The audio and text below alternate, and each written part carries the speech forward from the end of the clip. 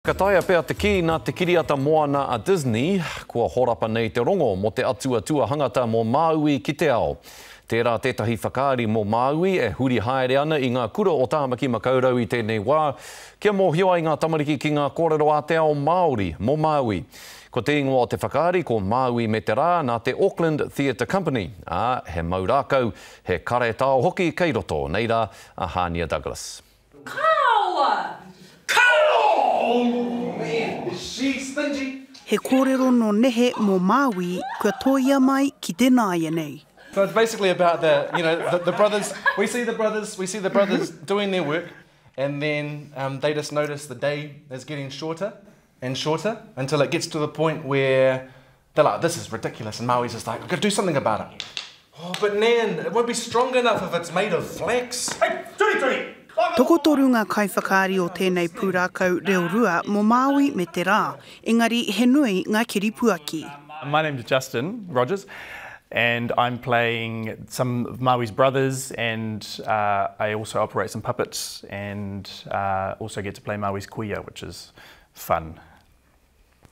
Uh, I'm uh, Jade Daniels and I'm playing Maui.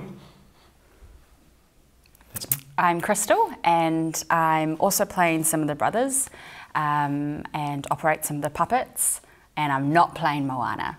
I think it's important to really show kids that diversity is important and that you can play a boy even though you're a girl and um, we're really clear that these three, you know, they say I'm Crystal, I'm Jade, I'm Justin and they play a whole range of things and I think that was really important to us. Ka mutu, ko tētahi o ngā ringatohu kei te tino rongo i te here ki tōna ake tipuna nō Te Tairāwhiti. He mea nui Te te kōrero nei, te pūrākau nei a Māui o taku tipuna Māui, ā, i te mea e mōhio whānui tātou i ngā kōrero, ngā, ngā kōrero o, ā Māui. Ka, ka maumahara au ki ngā kōrero aku, ā, tipuna, whiua ki te ao, whiu, whiua ki te rangi, whiua ki ngā iwi katoa. Ahakoa rongonui ana a Māui i te putanga o Moana i tērā tau,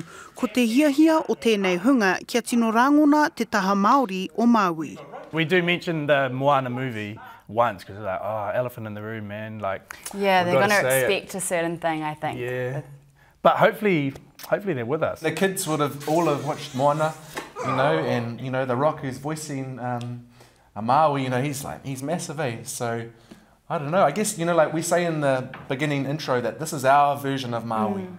Hei te rāhina kanawhiua ai te whakaari mō Māui me te rā, hei whakangahau i ngā tauira o te kura o Finlayson Park. Hania Douglas, Te Karere.